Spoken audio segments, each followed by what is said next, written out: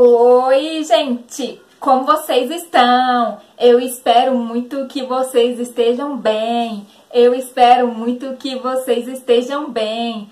Já ativar o sino e deixa seu gostei. E eu espero muito que vocês estejam bem. Sem mais loucuras, vamos lá pro vídeo. Então,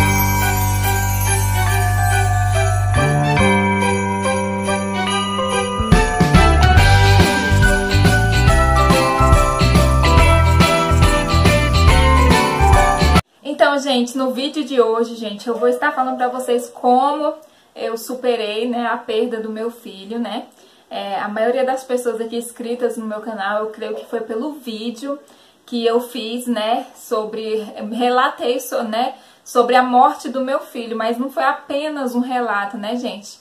É, quem viu, quem assistiu, se você não assistiu, é, eu peço que você vai lá assistir que vocês vão entender. Eu vou deixar aqui na descrição do vídeo ou nos cards ou vou deixar no finalzinho do vídeo, tá, gente?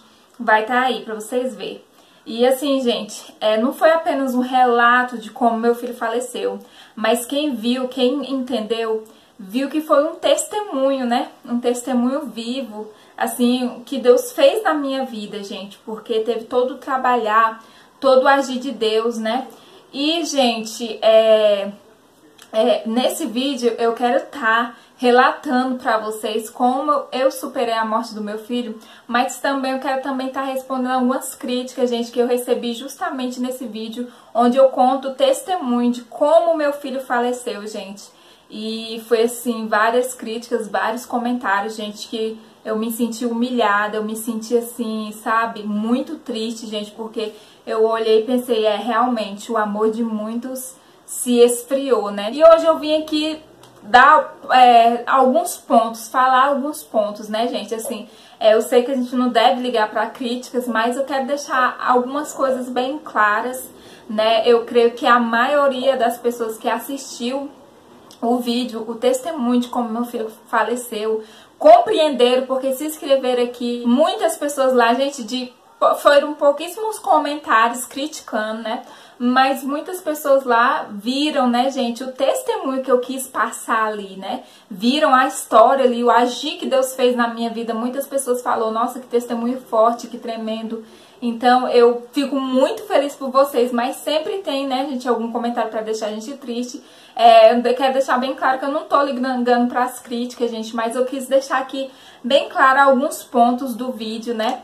E assim, gente, foi algo que me deixou bastante triste. É, eu não tenho nenhuma mensagem lá, nenhum comentário para mostrar pra vocês, porque eu apaguei todos, gente. Sim, eu apaguei todos, porque eu, eu não gosto, assim, quando vem alguém criticar aqui o meu canal e tudo, assim.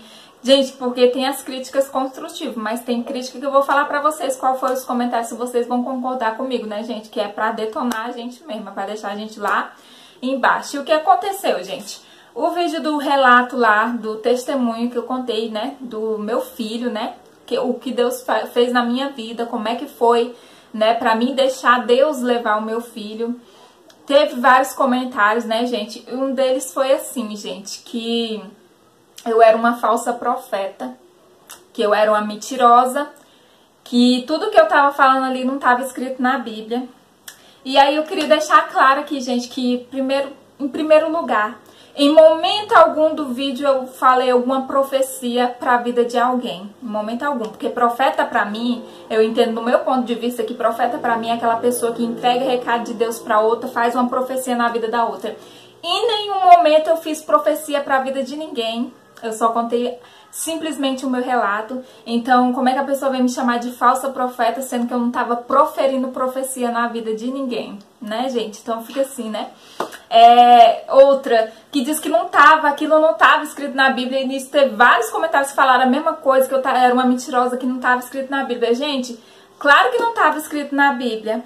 Nenhum momento eu citei ali partes da Bíblia e falei, a história do meu filho está escrito na Bíblia. Gente, como é que é a história do meu filho, o falecimento do meu filho vai estar tá escrito na Bíblia? Para uma pessoa chegar e dizer que, que, que nada daquilo dali está escrito na Bíblia?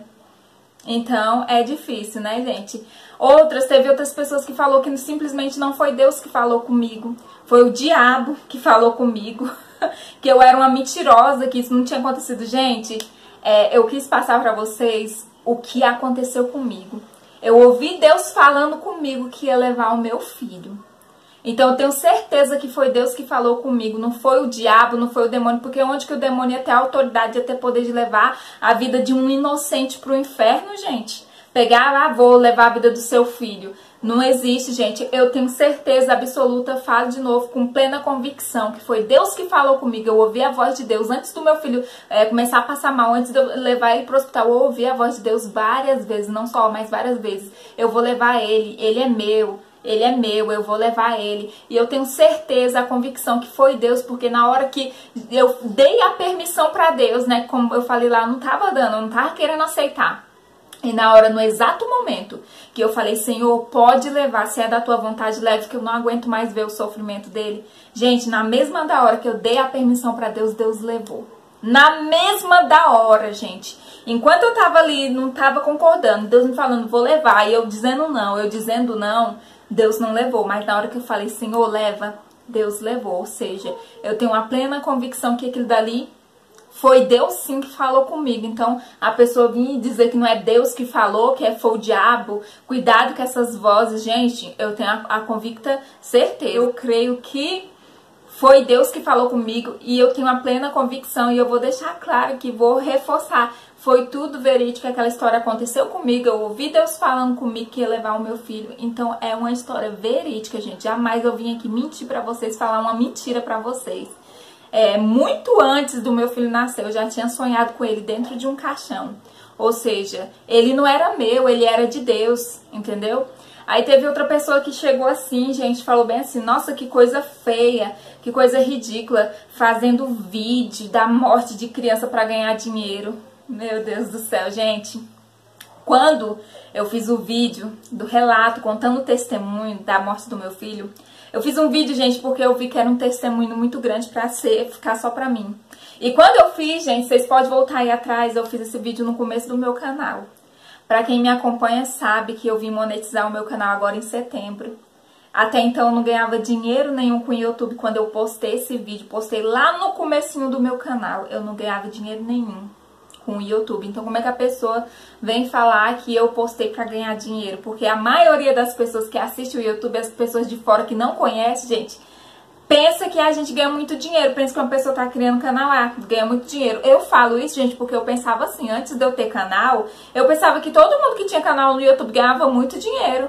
E não é, gente. Eu já mostrei pra vocês quanto que eu ganho. Ganho centavos por vídeo, 30 centavos, 28 centavos, às vezes é 50 centavos por cada vídeo, né, gente? Então, eu nem, nem ganhava dinheiro com o YouTube naquela época, então não tinha intenção de botar, eu tive a intenção de colocar aquilo dali como um testemunho, gente, como meu testemunho, como eu contei vários episódios da minha história para vocês, né, como testemunho, conto vários testemunhos da minha vida, e eu conto, gente, eu faço esses vídeos porque muitas pessoas falam que gostam de ouvir os testemunhos da minha vida, que gostam de ouvir minha história, então eu venho e coloco, gente, coloco um pedacinho aqui, depois faço outro vídeo com outro pedacinho com relato, porque a minha história é um grande testemunho, então quero poder compartilhar esse testemunho com outras pessoas. Eu faço esses vídeos, gente, porque eu gosto, gente. Não é pelo dinheiro, porque dinheiro a gente não ganha, gente.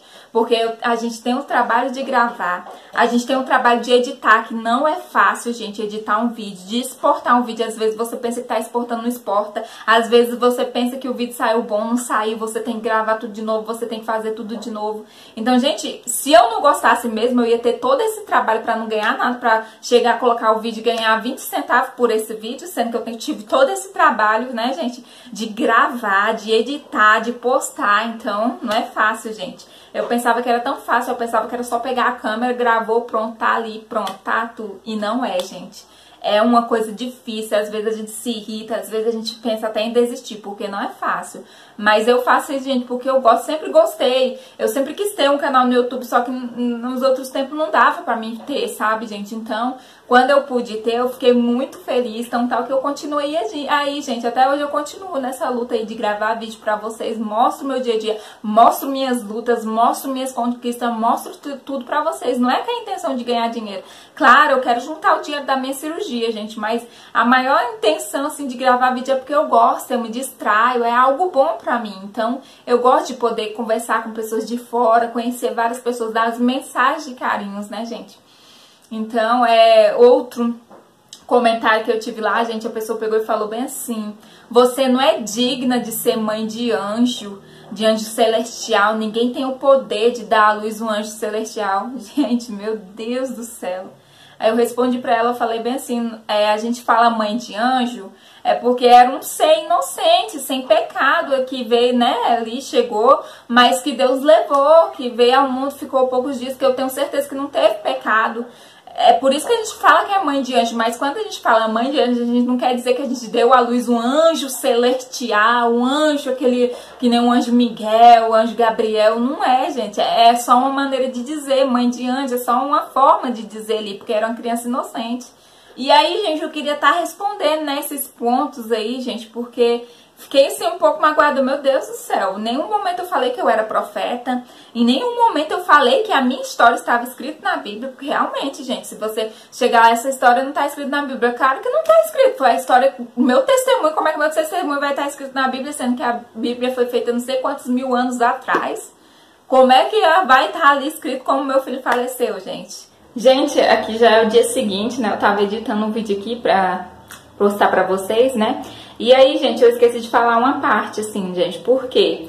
É, como eu falei, eu não citei nada da Bíblia, nenhuma mensagem da Bíblia, nenhuma parte, citei que minha história estava escrita na Bíblia. Eu simplesmente lá no vídeo, gente, que eu conto o relato lá da morte do meu filho, testemunho, eu falei, gente, que na hora ali que meu filho estava ali, naquela maca, falecendo e tudo, eu tentava caçar uma mensagem de conforto na Bíblia ou na harpa cristã, gente. E sempre quando eu abria a Bíblia, gente, caía em alguma passagem que falava que tal pessoa viveu não sei quantos anos, teve filhos e filhas e faleceu. Vamos supor, vou falar para vocês a, de Abraão aqui, né, gente? Porque eu não sei qual passagem, eu não lembro muito bem qual foi as passagens que eu abria e caía nessa parte, mas vamos, vamos supor de Abraão. Lá, você for ler a história dele, conta, e Abraão viveu tantos anos, teve filhos e filhas e faleceu. Então era essa mensagem, toda vez que eu abria, falava de alguma pessoa que viveu tantos anos, teve filhos e filhas e faleceu. E isso eu já não aceitava, sabe? Fechava a Bíblia. E na harpa cristã, gente, quando eu abria, tinha hinos de despedida. Que hinos são esses? Como aquele hino, gente. E quando enfim chegar a hora em que a morte alcançarei sem medo então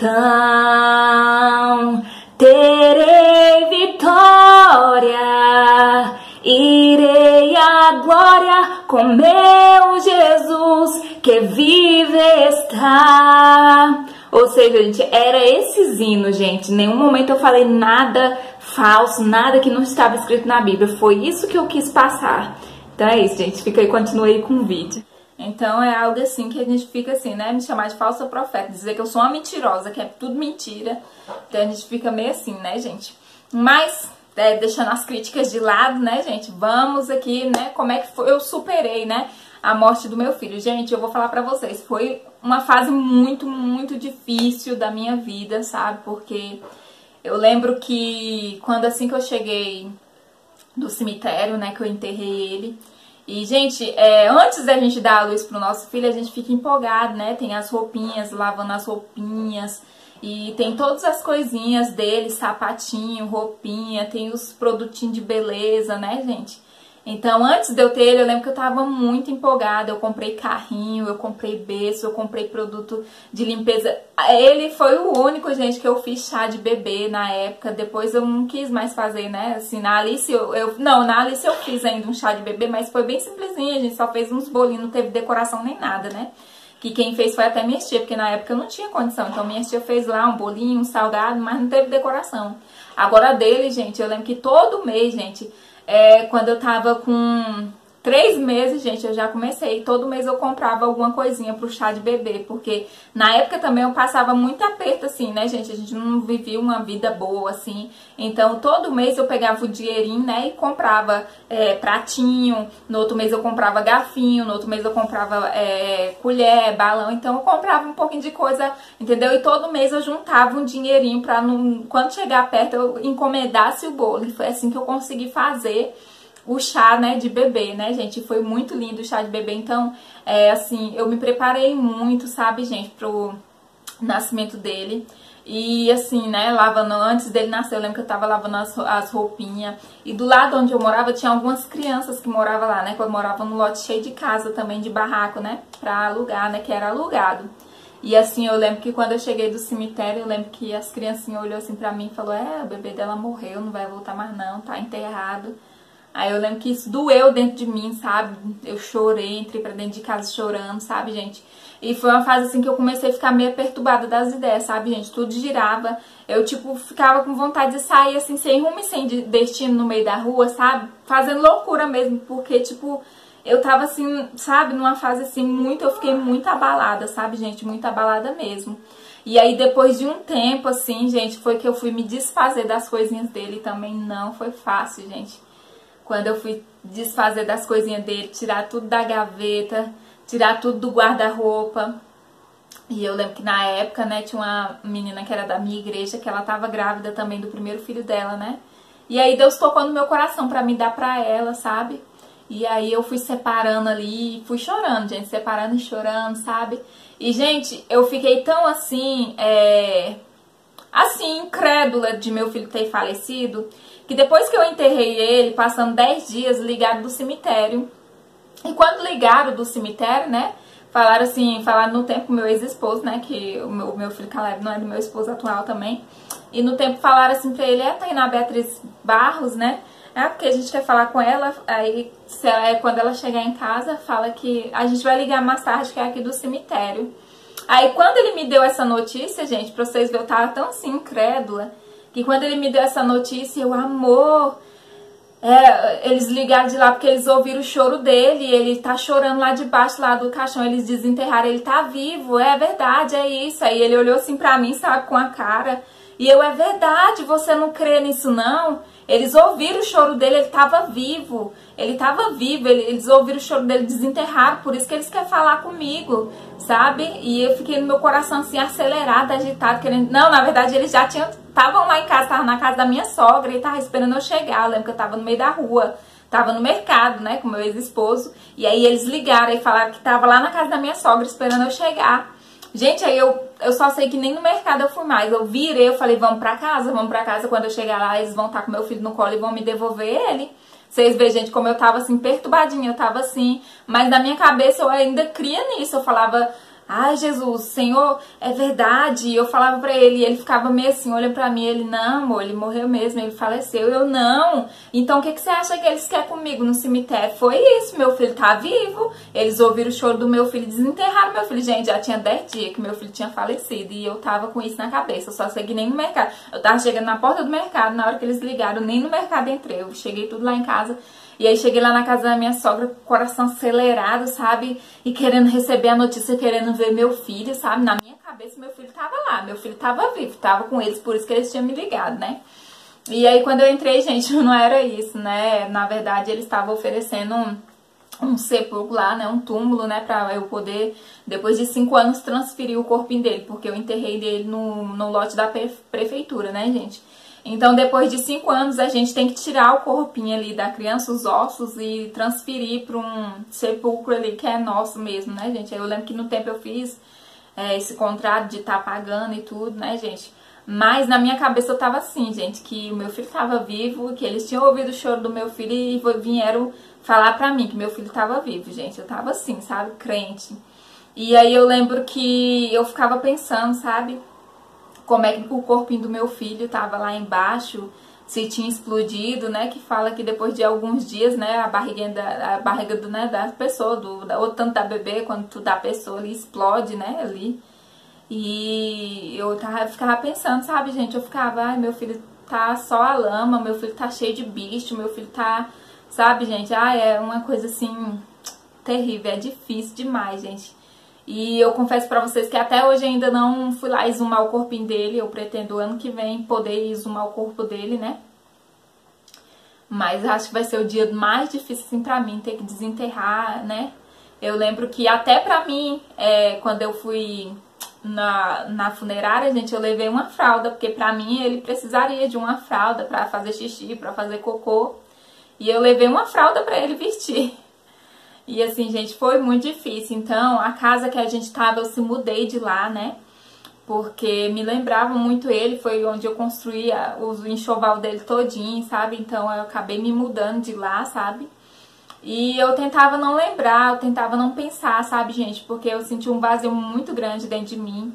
E aí as pessoas vinham, me davam conselho falavam, não, Deus tirou, mas Deus vai te dar outro. E eu pensava assim, não, não quero mais, sabe?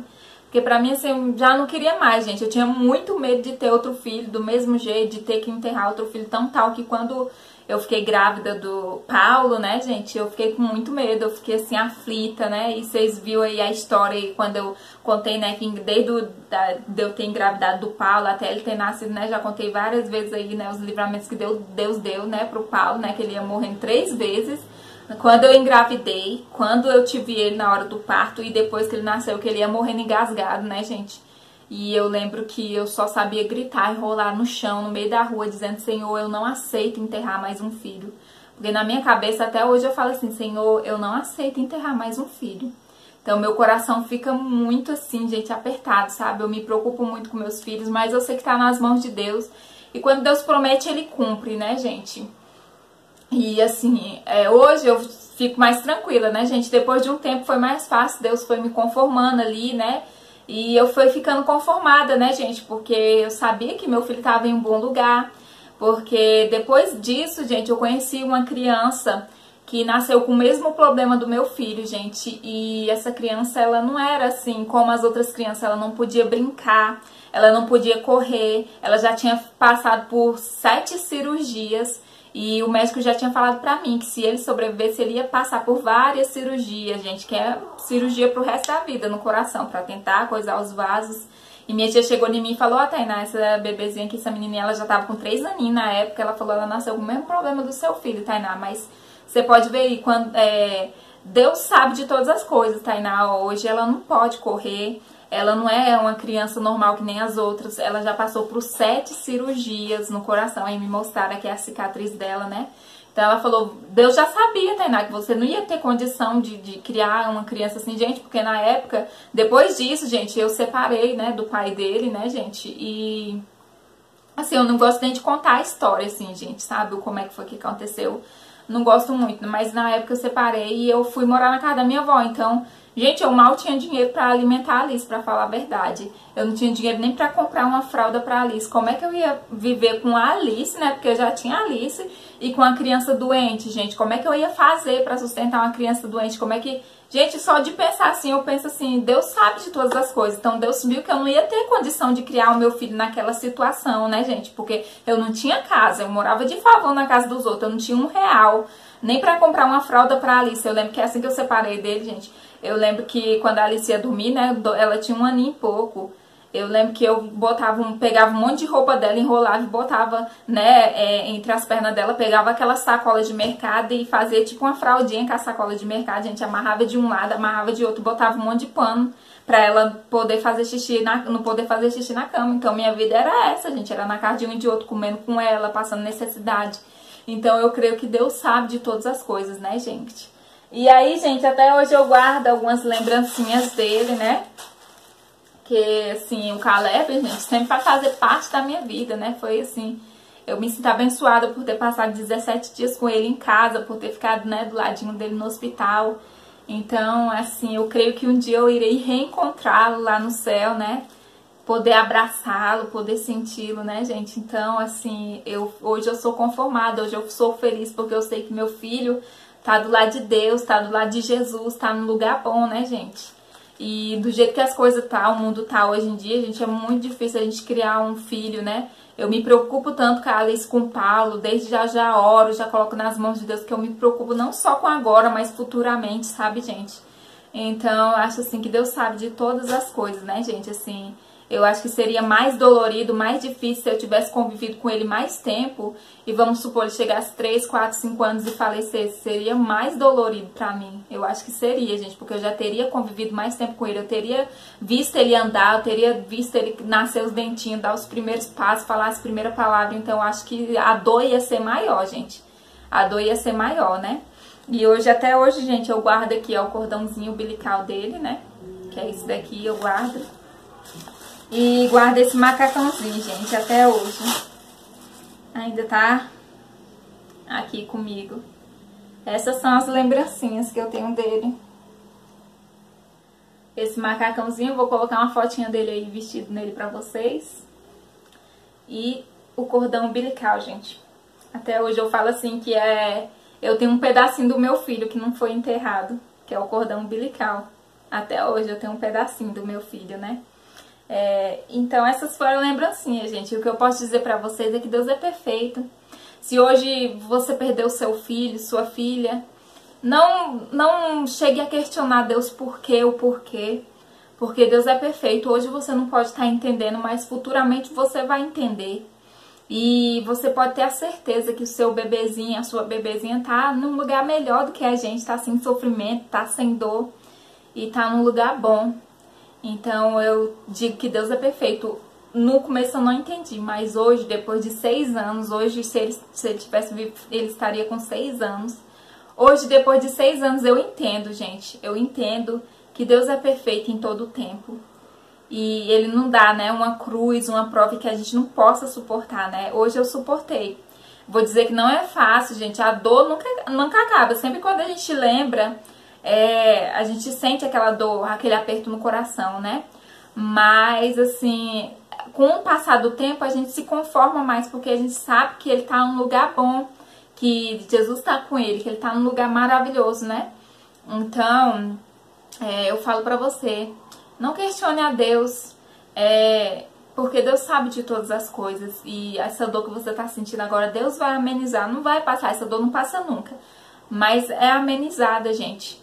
E se você tem a promessa de ter um filho, uma filha, creia que se não foi esse, Deus levou esse, é porque não era para ser. Mas que Deus vai te dar sim a sua bênção, a sua vitória, assim como Deus me deu. Deus tinha me prometido um filho homem, gente, e Deus me deu Caleb, mas levou para ele, né? Para glória. Mas depois disso, Deus cumpriu a promessa e me deu Paulo, gente. O Paulo é a prova viva que Deus é maravilhoso, né? Então hoje o Paulo tem três aninhos e Deus é perfeito, gente. Hoje Deus me deu o Paulo, né? Não, não tirou o lugar do Caleb, né, gente? A gente ama igual, mas a gente é, vê a mão de Deus na nossa vida. O que Deus promete, Ele cumpre, né? Então o vídeo foi esse, eu espero muito que vocês tenham gostado. Fiquem todos com Deus na paz, Senhor Jesus Cristo. Um super beijão e tchau!